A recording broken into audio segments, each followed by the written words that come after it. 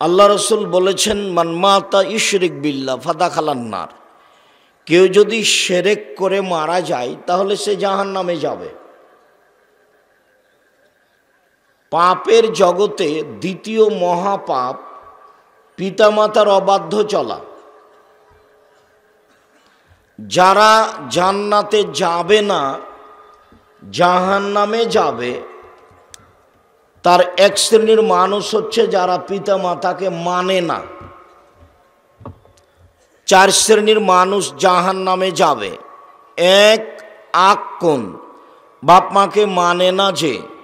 দুই, কম্মার, জুয়া খেলে যে। তিন, মান্নান, খোটা দেয় যে। চার মধুমেনুল খামর, নিয়মিত বিড়ি, তামাক, জর্দা, সিগারেট, গুল নেশাদার দ্রব্য খায়, পান করে যে, এরা জান্নাতে যাবে না। চার শ্রেণির মানুষ জান্নাতে যাবে না। তার এক শ্রেণির মানুষ হচ্ছে যারা বাপ মাকে মানে না। বাপ মাকে মা, না মানা পাপটা পৃথিবীতে দ্বিতীয় মহাপাপ, কিন্তু ভাষা এমন নয়। পরে আমরা সময়ের গতিতে বলব, ভাষাটা আবার পেশ করি।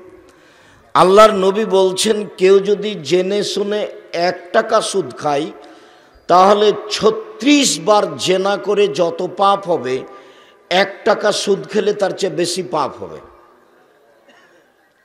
এমন কোনো পাপ নাই দুনিয়াতে, যেই পাপকে এইভাবে জেনার সাথে জড়ানো হয়েছে। অথচ জেনাই মহাপাপ।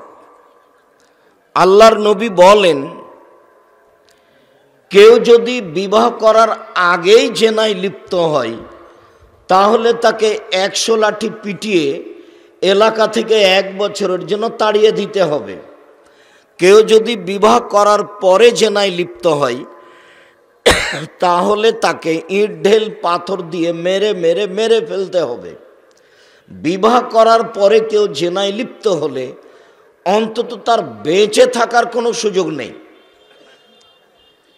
তার বিচার হলো না, কান্নাকাটি করল, ক্ষমা চাইলো, আল্লাহ তাকে মাফ করে দিলেন সেইটা ভিন্ন কথা।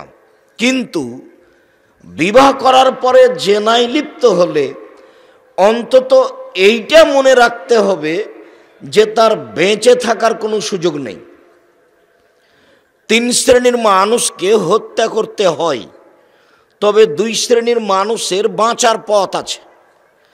তিন শ্রেণির মানুষকে হত্যা করতে হয় তাহাজুদ পড়লেও, হজ করলেও। তার এক শ্রেণির পাপ হলো, কেউ যদি বলে, আমি কোরআন মাজিদ মানি না, তাহলে সে মুরতাদ, তাকে হত্যা করতে হবে। কেউ যদি বলে যে, গাভীর দুধ হারাম। তাহলে তাকে হত্যা করতে হবে। ও মোরতাদ, সরকারিভাবে। কেউ যদি বলে মদ হালাল, তাহলে তাকে হত্যা করতে হবে সরকারিভাবে। তবে তার বেঁচে থাকার পথ আছে। তাকে ফাঁসির মঞ্চে নিয়ে যাওয়া হয়েছে, ফাঁস গলায় দেওয়া হয়েছে, ফাঁস টান টান। তখনও বলছে, আমার ভুল হয়েছে, আমার ভুল হয়েছে। আমি কথা ফিরিয়ে নিলাম। কোরআন মাজিদ আল্লাহর বিধান। তার আর ফাঁসি হবে না, তাকে নামিয়ে নিতে হবে। তবে পাপটা ছিল হত্যাযোগ্য পাপ, ফিরে আসার কারণে বেঁচে গেল। দ্বিতীয় পাপ তাকে হত্যা করতে হবে, তবে তার বাঁচার পথ আছে। সেটা হলো কেশাস। আপনি যদি আমাকে হত্যা করেন, তাহলে আমার বাপ মা আপনাকে হত্যা করিয়ে নিবে। এর নাম কেশাস। সরকারিভাবে তা আপনার ফাঁসি হবে। আপনাকে ফাঁসিতে মঞ্চে নিয়ে আসা হয়েছে, গলায়ও দেওয়া হয়েছে। এমতো অবস্থায় আমার বাপ মা বলছে, না না না আমরা মাফ করে দিলাম, আমরা কেশাস নিব না, আমরা মাফ করে দিলাম, আমরা কেশাস নিব না, তাহলে এর ফাঁসি হবে না। ওকে ফাঁসির মঞ্চ থেকে নামিয়ে নিতে হবে। আর এক শ্রেণির মানুষকে হত্যা করতে হয়। সেটা হলো বিবাহ করার পরে কেউ যদি জেনায় লিপ্ত হয়।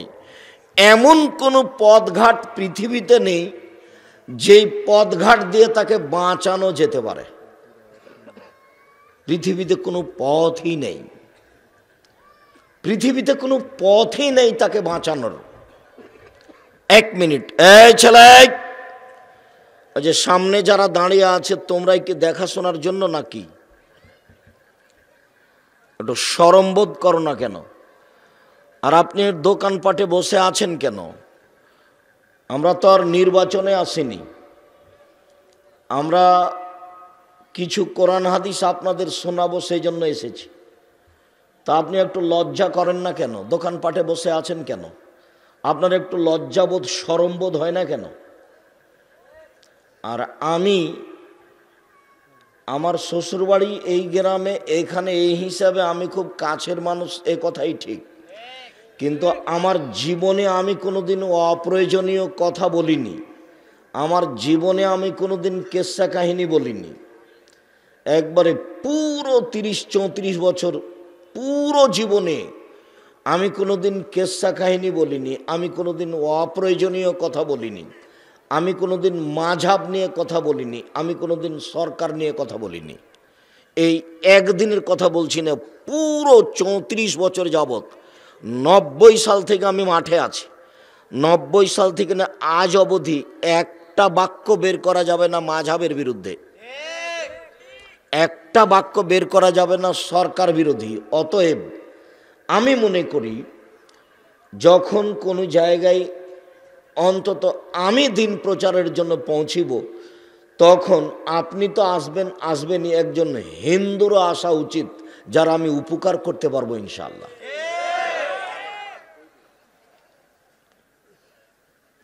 আমি আপনাদের অনুরোধ করছি, যারা যেখানে বসে আছেন, আপনার কাজ বন্ধ করে, দোকানপাট বন্ধ করে, কথাবার্তা বন্ধ করে সামনে আসুন। বসে কথা শুনুন, আপনার জন্য অনেক ভালো হবে। আর আমি আজকে আলোচনা করছি, আপনার না আসার কারণ কি আমি জানি না।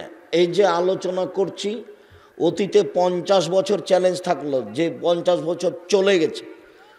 কোনো একদিনের বক্তব্যের সাথে যদি মিলাতে পারেন, সে যেই হোক, যত বড় আল্লামা হোক না কেন, আমি আর কোনো দিন বক্তব্য দিব না। কীভাবে মিলাবেন?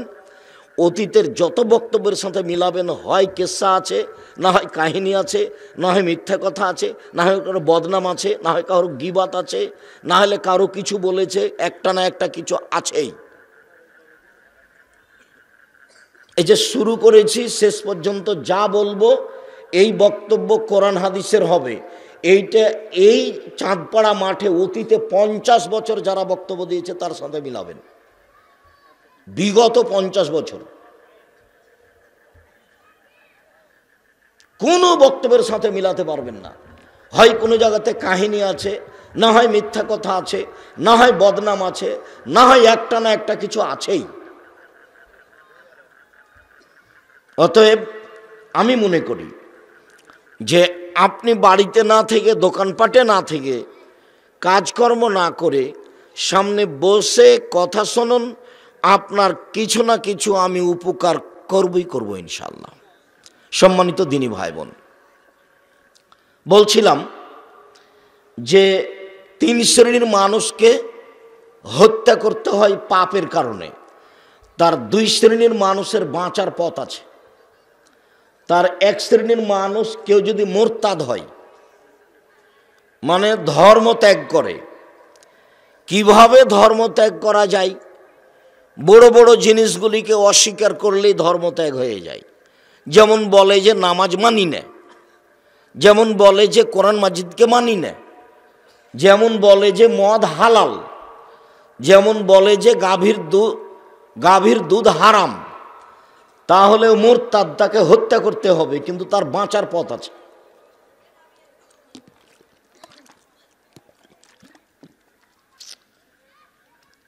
দুই হলো কেসাস। আপনি আমাকে হত্যা করেছেন, অথচ আপনি তাহাজুদ পড়েন। আপনি তাহাজুদ পড়তে যাচ্ছিলেন মসজিদের দিকে, আমি আপনার পাশ দিয়ে হেঁটে যাচ্ছিলাম, আপনার কোনো কলের রাগ ছিল, আপনি আমাকে একটা থাপ্পড় মেরেছেন, এক থাপ্পড়ে আমি মারা গেছি। আপনি ভালো মানুষ, কিন্তু আপনার এখন কি হবে? ফাঁসি হবে। এর নাম কেসাস তো আমার বাপ মা যদি আপনার এই কেসাস মাফ করে দেয় তাহলে আপনার ফাঁসি আর হবে না। বোঝা যায় না কথা মনে হয়। আর এক শ্রেণির মানুষকে হত্যা করতে হয়, যারা বিবাহ করার পরে জেনায় লিপ্ত হয়। এদেশের লাখো দুলা ভাইকে হত্যা করতে হবে, যারা শ্যালিকার সাথে জেনায় লিপ্ত হয়েছে। এদেশের লাখো ভাবিকে ইট ঢেল পাথর দিয়ে মেরে ফেলতে হবে, যারা দেবরের সাথে জেনায় লিপ্ত হয়েছে। এদেশের লাখো পুরুষকে ইট পাথর দিয়ে মেরে ফেলতে হবে, যাদের স্ত্রী থাকা সত্ত্বেও অন্য মহিলার সাথে জেনায় লিপ্ত হয়েছে। এদেশের এদেশের লাখো নারীকে ইট পাথর দিয়ে মেরে ফেলতে হবে, যাদের স্বামী থাকা সত্ত্বেও অন্য পুরুষের সাথে জেনায় লিপ্ত হয়েছে। এদের অন্তত বেঁচে থাকার কোনো সুযোগ নেই। না, তোমাকে এভাবে সাড়া দিতে তো আমি নিষেধ করছি, এটুকু বুঝতে চাও না? এইভাবে সাড়া দাও আমি পছন্দ করি না, খুব খেয়াল করে থাকো। আর যারা সাড়া দিচ্ছ, তোমার মোবাইলে তো ল্যাংটা মেয়ে নাচে। তুমি একটু সরম করো না কেন? তুমি একটু সরম করো, লজ্জা করো, ইতস্তবোধ করো।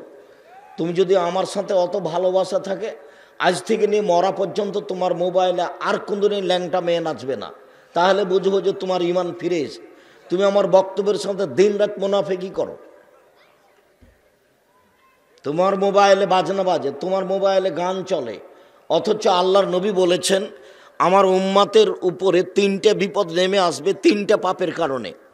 আমার উম্মাতের উপরে তিনটে বিপদ নেমে আসবে তিনটা পাপের কারণে। আমার উম্মাতের উপরে ভূমিকম্প হবে।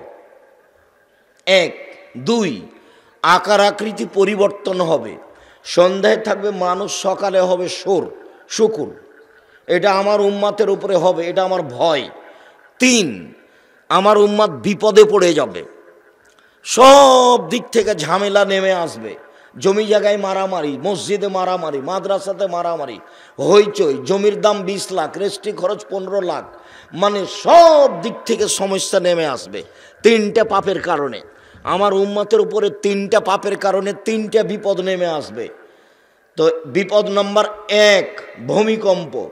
বিপদ নাম্বার দুই, সন্ধ্যায় থাকবে মানুষ, সকালে হবে সোর বা বানর। তিন, সমস্যা নেমে আসবে।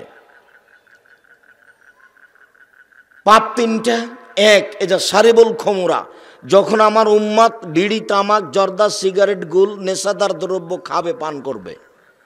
দুই জাহরাতিল কায়নাত অত্যাচারিল কায়নাত, যেদিন মেয়েরা নাচবে, সব মোবাইলে মেয়ে নাচে, সব দোকানে মেয়ে নাচে, সব ঘরে মেয়ে নাচে। যখন মেয়েরা নাচবে, তখন আমার উম্মাতের উপরে বিপদ নেমে আসবে। তিন অধারাবুবিল মাজেব, যখন বাদ্যযন্ত্র চলবে, সব মোবাইলে বাজনা বাজে, সব দোকানেই বাজনা বাজে, প্রায় সব ঘরে ময়ে চলে, টিভি চলে, সব ঘরে বাজনা বাজে। আমার উম্মাতের উপরে তিনটা বিপদ নেমে আসবে, তিনটা পাপের কারণে। আমার উম্মাতের উপরে তিনটা বিপদ নেমে আসবে, তিনটা পাপের কারণে। এক, ভূমিকম্প হবে। দুই, আকার আকৃতি পরিবর্তন হবে। সন্ধ্যায় থাকবে মানুষ, সকালে হবে বানর সোর তিন, সব সমস্যা নেমে আসবে আমার উম্মাতের উপরে। তিনটা পাপের কারণে। এক, যখন মদ খাবে, প্রায় সবাই মদ খাবে। দুই, যখন মেয়েরা নাচবে, তিন, যখন বাজনা বাজবে। তো সব দোকানে বাজনা বাজে, সব দোকানে মেয়ে নাচে, সব বাড়িতে মেয়ে নাচে। প্রায় সবাই বিড়ি, তামাক, জর্দা, সিগারেট, গুল খাই খাই। বুঝেও, বুঝে না ওরা অন্তর আছে, বুঝে না। দেখেও দেখে না ওরা চক্ষু আছে, দেখে না। শোনেও শোনে না, ওরা কান আছে শোনে না। উলায়কা কালা নাম তারা পশু প্রাণীর মতো, তারা গরু ছাগলের মতো, তারা কুকুর শ্রীগালের মতো, বালহু মাজাল বরং তার চেয়ে খারাপ। মানুষ গরু ছাগল, কুকুর শ্রীগালের চেয়ে খারাপ। সে যে হারাম খায় বিবেচনা করে না, হিসাব নিকাশ করে না।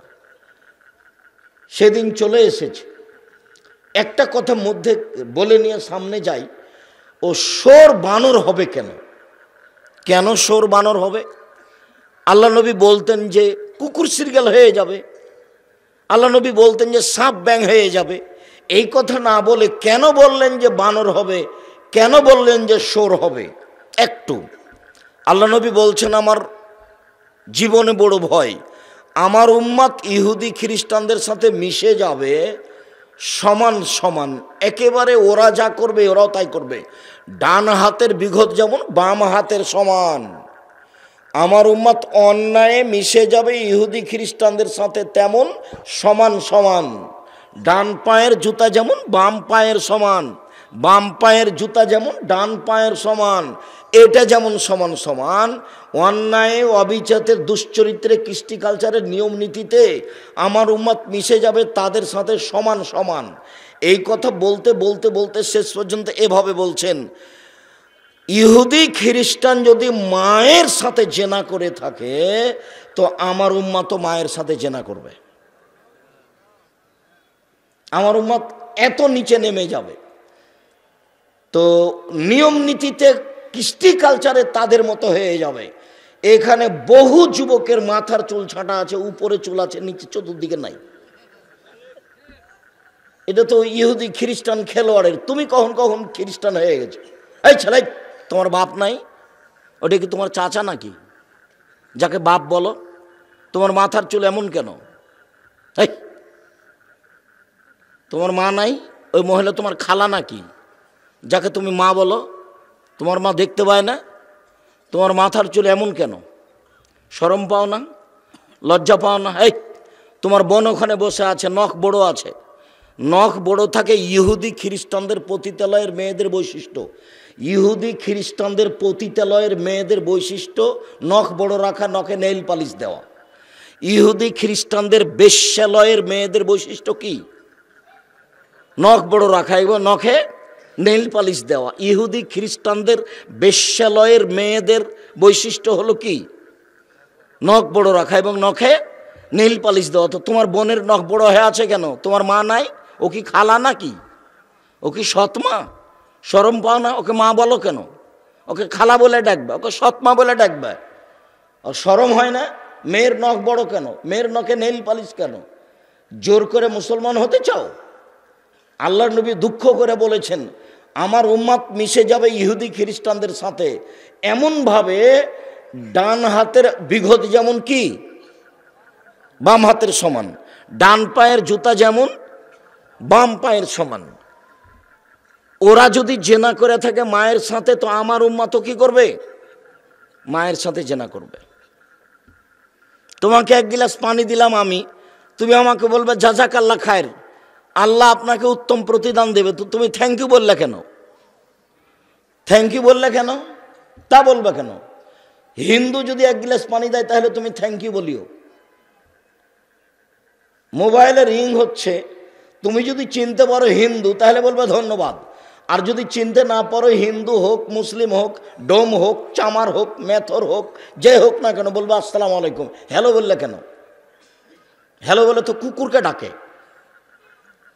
হ্যালো বলে তো কুকুরকে ডাকে। তোমার প্যান্টটা টাকানোর নিচে কেন? তোমার প্যান্টটা টাকানোর নিচে কেন? ওটা তোমার মা না ওটা তোমার খালা?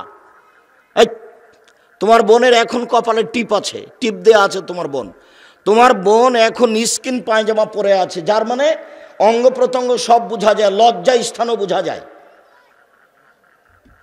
এই স্কিন পায়জামা পরে আছে তোমার বোন, তোমার মা এখানে বসে আছে। এখানে বসে আছে। এটাই হলো ইহুদি হয়ে যাওয়া। এটাই হলো খ্রিস্টান হয়ে যাওয়া। আমার উম্মাত ইহুদি খ্রিস্টানদের সাথে নিয়ম, নীতি, কৃষ্টি, কালচারে মিশে যাবে।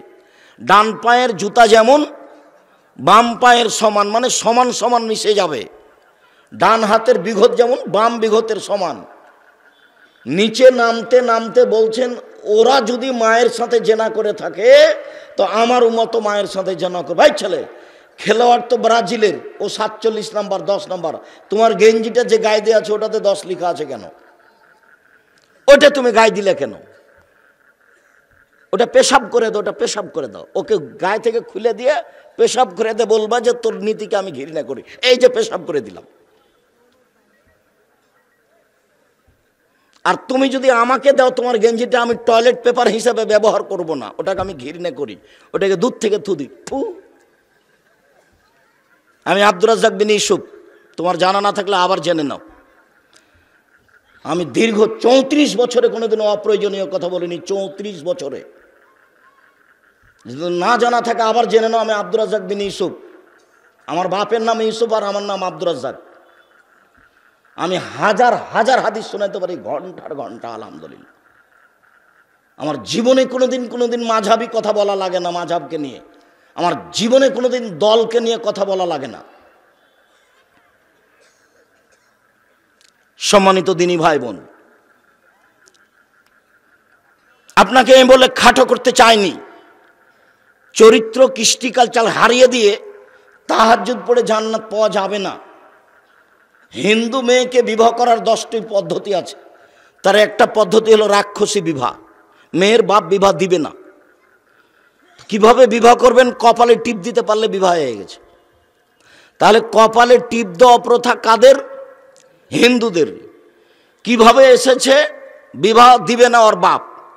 তখনও কি করবে? বিবাহ করবে। তো কি করতে পারলে বিবাহ হয়ে যাবে? কপালে টিপ দিতে পারলে বিবাহ হয়ে যাবে। সেই টিপ আমার মেয়ের মাথায় কেন? কপালে কেন? এখন বসে আছে তোমার বোন, কপালে টিপ দিয়ে। এখন বসে আছে। ওটা তোমার মা না? ওটা তোমার খালা? আমি বলছি, ওটা তোমার খালা, ওটা তোমার সৎ মা। এই মা তোমাকে কবর দিতে এসেছে। তোমার বাপের সংসারকে কবর দিতে এসেছে। তোমার এই মায়ের নাম হলো হস্তিনী মা তোমার বাপের একে তালাক দিয়ে দেওয়া উচিত। আমি তালাক দিতে আদেশ করিনি, তবে আমার পরামর্শ থাকল। তোমার এই মাকে তোমার বাপের তালাক দিয়ে দেওয়া উচিত, তবে আমি তালাক দিতে আদেশ করিনি, পরামর্শ থাকল। এই ছেলে মা হলে কটা জিনিস লাগে? চারটা দিন রাত বলছি। মা হলে কটা জিনিস লাগে? চারটা জিনিস লাগে। তার নাম মা। জাবের রাজিয়াল্লাহ তালা আনহ বলছেন যে, আমরা একবার যুদ্ধ করে আসছিলাম, মদিনায় ঢুকবো। রাতে তখন আল্লাহ রসুল বলছেন, এই থামো থামো থামো থামো, এখানে থাকো। সকাল যখন হবে তখন আমরা বাড়িতে যাব। তা আমি জাবের বললাম, আল্লাহর নবী, আমি নতুন বিবাহ করেছি, আমাকে বাড়ি যেতে দেন। তো আল্লাহ নবী বলছেন, ও বিক্রানম সাইয়েবা। তুমি যে বিবাহ করেছ তো কুমারী মেয়ে বিবাহ করেছ না তালাকপ্রাপ্ত মেয়ে বিবাহ করেছ? তুমি যে বিবাহ করেছ তো তালাকপ্রাপ্ত মেয়ে বিবাহ করেছ না কুমারী মেয়ে বিবাহ করেছ? তো আমি বললাম যে আমি তালাকপ্রাপ্ত মেয়ে বিবাহ করেছি। ওর বিবাহ আগে হয়েছিল, ওর স্বামী তাকে তালাক দিয়ে দিয়েছে, আমি তাকে বিবাহ করেছি। তো আল্লাহ রসুল বলছেন, আরে, হাল্লা বিক্রান্ত তোলাই বহ তোলাই বোকা তুমি কুমারী মেয়ে কেন বিবাহ করলে না? তুমি তার সাথে খেলতে ও তোমার সাথে খেলতো। তুমি কুমারী মেয়ে কেন বিবাহ করলে না? তুমি তার সাথে খেলতে ও তোমার সাথে খেলতো। তুমি কুমারী মেয়ে কেন বিবাহ করলে না? তুমি তার সাথে খেলতে ও তোমার সাথে খেলতো। তখন জাবের বলছেন, আল্লাহ নবী শোনেন, আমার পিতা উহুদের যুদ্ধে শহীদ হয়েছেন নয়জন মেয়ে রেখে। আমার নয়জন বোন আছে। আকরাহন উদাব্বেদা মিসলাহন না তাদের সমবয়সের মেয়েকে আমি বিবাহ করা পছন্দ করিনি। চারটা কারণে। আল্লাহ নবী শোনেন, আমার বাপ ওহুদের যুদ্ধে শহীদ হয়েছেন, নয়টা মেয়ে রেখে। আমার নয়জন বোন আছে। আমার বোনদের সমবয়সের মেয়েকে আমি বিবাহ করা পছন্দ করিনি। চারটা কারণে। আল্লাহ নবী শোনেন, আমার বাপ ওহুদের যুদ্ধে শহীদ হয়েছেন কয়টা মেয়ে রেখে? নয়টা। আমার নয়জন বোন আছে। আমার বোনদের সমবয়সের মেয়েকে বিবাহ করিতে পছন্দ করিনি চারটা কারণে। আমি বড় মেয়ে, তালাকপ্রাপ্তা মহিলা বিবাহ করেছি এই জন্য যে, এক, লে তোয়াল্লেমা হন না। আমার স্ত্রী যেন আমার বোনদেরকে বিদ্যা শিখাতে পারে। দুই, অলে তুয়াদ দেবা হন না। আমার স্ত্রী যেন আমার বোনদেরকে শিষ্টাচার শিখাতে পারে। তিন, আমার স্ত্রী যেন আমার বোনদের মাথার চুল চিরনি করে সাজগোজ করে দিতে পারে। চার, অলে তাকুমা আলাইহিন্না, আমার স্ত্রী যেন আমার বোনদের ওপরে পাহারা দিতে পারে। বলো দেখি, তোমার বোন এখন ফ্যাশন বোরখা পরে এখানে বসে আছে। তাহলে তোমার মা কি তোমার বোনের পাহারাদার? দেয় তোমার মা, হাদিস তো বোখারি মুসলিম। হাদিস তো বোখারি মুসলিম। তোমার মা কি পাহারা দেয়? এখন তোমার বোন এখানে বসে আছে ফ্যাশন বোরখা পরে। ওই বোরখা জ্বালিয়ে দিতে হবে। রাতে তোমার বোনকে এই বোরখা জ্বালিয়ে দিতে বলিও, না জ্বালেলেও মোনাফেক। আমার বক্তব্যের সাথে মোনাফেকই করেছে, যেটা আমি চাই না। যেটা আমি চাই না, কোনোদিন চাইনি আমি। তোমার পরিবর্তনের জন্য এসেছি, আল্লাহ তোমাকে পরিবর্তন করুক আল্লাহ আমিন। জাতির যদি রাস্তাঘাট করে দিতে না পারি, জাতির যদি স্কুল, কলেজ করে দিতে না পারি, জাতিকে চূড়ান্ত সঠিক ধর্ম দিতে পারব ইনশাআল্লাহ। ধর্মের ব্যাপারে জাতিকে ফাঁকি দিয়ে পরকাল হারাতে রাজি নয়